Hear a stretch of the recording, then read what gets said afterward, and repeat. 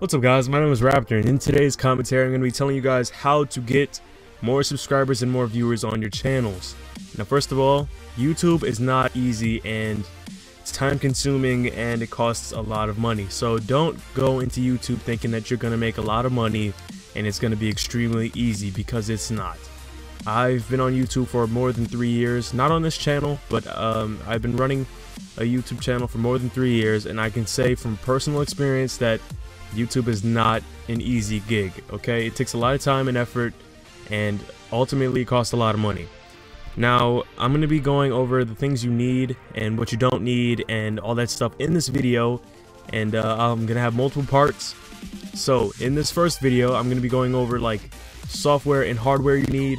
In the next episode, I'm going to go over what kind of content you should make, what kind of viewers you should strive to, you know, um, become active on your videos and who your target audience should be.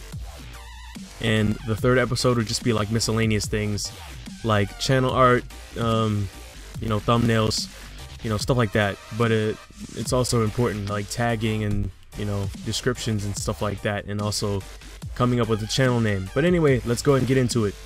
So first of all, I've been doing YouTube for two years. Um, this is my Raptor Gaming account, otherwise known as Raptor for some of you new people. You guys see the OG name. Uh, with the new Google Plus system, you can pretty much name your channel anything. So just come up with a creative name and, you know, start from there. Uh, what you should do to start off making videos is come up with like a catchy slogan or something that you can get used to in the beginning of each episode. So, for example, I use What's up guys, my name is Raptor and I don't know how I started using that, it just became natural for me so that's what I started using. um, and then when I say goodbye to people, you know, at the end of the video, I'm like, leave a like if you enjoyed, subscribe if you guys are new, hope you guys enjoyed this video, peace out, homies. And I do that for every video, and people, you know, get used to that, and it really helps, you know, strive um, for viewers and new viewers to, you know, come together and I don't know, it just makes them feel special when you say the same thing and that you can you know, make something memorable for them to remember at the end of the video or at the beginning of the video. It's really good, and that's uh, you know, a really good way to, you know, start your fan base off early. Um, another thing to start getting early viewers is just to make good quality content. What I mean by that is you need to have HD, alright? So look at my gameplay. It looks pretty good, right? 700, 720p and 60 frames a second, and listen to the mic quality. It's not the best, but, you know, it's pretty good. I also have a you know a tutorial on how to do all these things in the description. If you guys want to start a YouTube gaming channel, my first episode uh, where I went over like the basic stuff is in the description and how to make your voice sound even clearer and better. You know, for free, you can download some free programs and make it sound even better. I also have that in the description. You guys can go check that out. And while you're down there, you might as well subscribe and leave a like on this video. Anyway, uh, what was I talking about? Let's go into more tips. Um, in videos you guys should start off making, uh, you should start making whatever like your niche is okay so that's what I need uh, you guys to do okay in order to grow your channel you need to find a niche or like something that isn't really common on YouTube and I know that's kind of hard to do because everything on YouTube has been done already and it's everything is kind of oversaturated as it is but what I want you guys to do is find something that isn't as popular as something else like right now I'm doing Call of Duty which is extremely popular um, so I'm kind of trying to switch into different games and different genres and testing the waters there. But it seems like most of my target audience is Call of Duty, so I might just stick with Call of Duty, you know. But if Black Ops 3 is bad, I don't know what I'm going to do. Okay, anyway, like I was saying, you guys want to, you know, create a niche and, well, not create because everything's been done before, but, you know, do a niche. Like, uh, if I use Call of Duty as an example, tips and tricks have been pretty well done uh, in the past by TmarTn and you know bigger YouTube channels like that. Um, class videos have been pretty done, pretty much done already. Uh, something that you could do is maybe start an infected series and play with uh, you know your fans once you get them at anyway. Um, and if you're starting a brand new channel, make some videos that you know will get some views. Okay, tutorials and how-tos are the number one way to get views and subscribers on YouTube. Okay. I have a how to get free PSN games, um, you know, for the PlayStation 4, obviously. And you guys can go check that out in the description if you haven't already. And that's gotten about 6,000 views, and I've gained about 50 or to 60 subscribers from it. and it's it's not a cheap way to do it or anything like that. It's it's perfectly legit, and the method actually works. Now, what I'm saying is, make how-to videos for people you know that actually need it. Don't just spam how-to videos on what you think people need or anything because I've, I've done that in the past and it really doesn't work out and it's just a waste of everybody's time.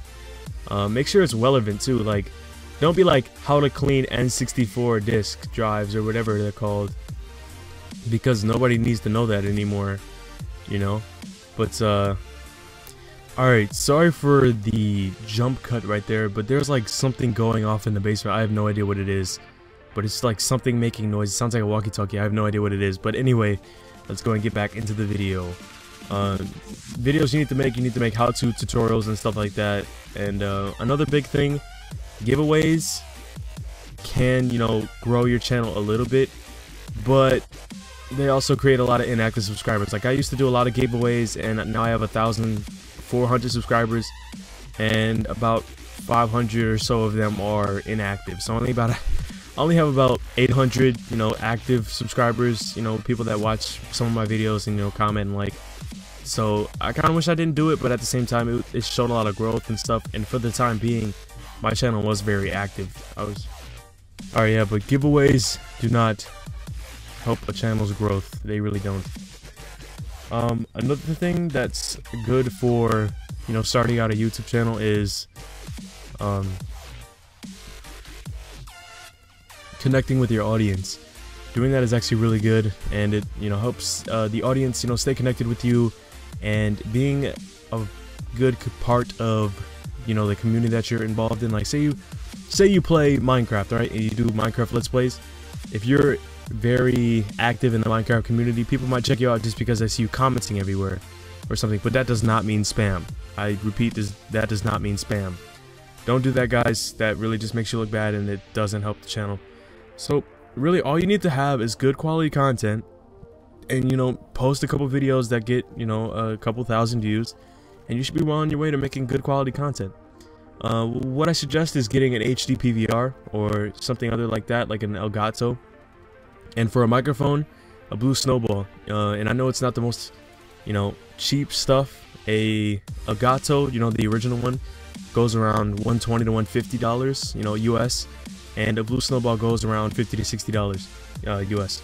So, you know, it's not cheap, but if you, you know, really put work into it and dedicate yourself, I feel like anything can, you know, work out in the end.